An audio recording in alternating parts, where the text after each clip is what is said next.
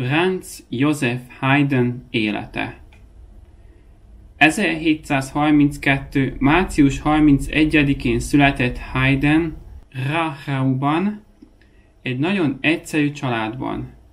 A szüleitől kapta az első zenei képzést. 1738-ban Heimburgba került, mivel nagyon szép hangja volt, felvették a templomi énekkarba és a templomhoz tartozó iskolába, ahol hegedülni és zongorázni tanult, és elméleti tárgyakat. 1740-ben a szép hangjának köszönhetően felvették a Bécsi gyermekkórusba és a templomhoz tartozó iskolába. Az iskola nagyon alacsony színvonalú volt akkor, a gyerekekkel csak annyit tanítottak meg, amennyi szükséges volt ahhoz, hogy énekeljenek a kórusban és játszanak a diák zenekarban. 1749-ben elkezdett mutálni, elveszítette a hangját, és akkor kivették. Haydn haza nem akart menni, nem vált belőle pódiumművész, hegedülni és zongorázni csak közepes szinten tanult meg. A komponista munkásságát pedig a 40-es évek végén, az 50-es évek elején, de azokat a műveket csak fiatalkori próbálkozásoknak tekintette, és nem igazi kompozícióknak. Kénytelen volt mindenféle munkát elvállalni, hogy megkeresse a kenyerét, és közben tanult. Tíz évig tartott a nehéz korszak. 1759-ben ismerkedett meg Molzingróffal, aki felajánlotta neki az udvari zenekarnál a zeneigazgatói állást, ő elfogadta. 1761-ben Eszterházi Pál Antal, magyar herceg meghívta az udvarába, Eszterházba, és felkínálta a másod karmesteri állást. Haydnnek sok elfoglaltsága volt ebben a szolgálatban, ő tartotta mindennapos próbákat a kórussal, zenekarral és szólistákkal, komponált, ez is hivatásbeli kötelessége volt, ő felügyelte a kottatárat és a hangszereket, sokat dolgozott.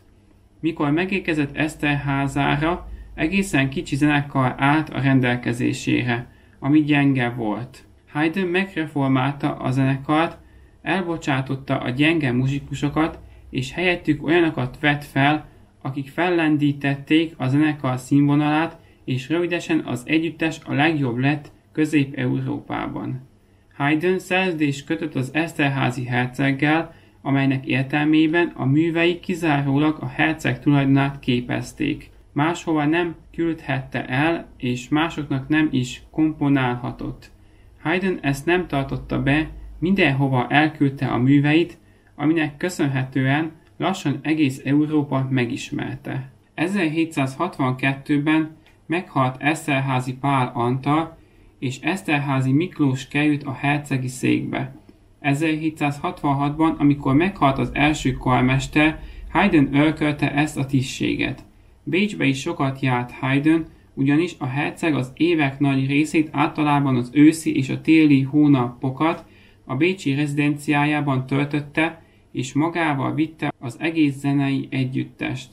Bécsben nem szerették Haydn zenéjét. Azt állították, hogy túlságosan könnyed, sekélyes, felszínes, és igazából nem tekinthető komoly zenének. A 80-as évek elején Bécsbe költözött Mozart, és megismerkedtek egymással, amiből nagy barátság született. Mozart haláláig. A barátságon túl zeneszerzői tekintetben is hatottak egymásra. Mozart műveiben világosan kimutatható Haydn hatása. Haydnnél is főként a kései öregkori művekben érezhető Mozart hatása.